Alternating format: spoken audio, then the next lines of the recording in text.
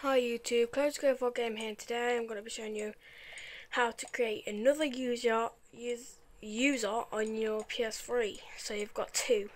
It won't affect your current user. Okay, so you go to your actual near the turn off system. You go and create new user. Type in whatever user you want. Um, I'm just going to create you keep user one, and then you see you've got another user added to your one you want to log in if you want to go on that one. And that's how you create another user. If you want to if you want to delete the user go onto the user log in log into the user. So you're now the user.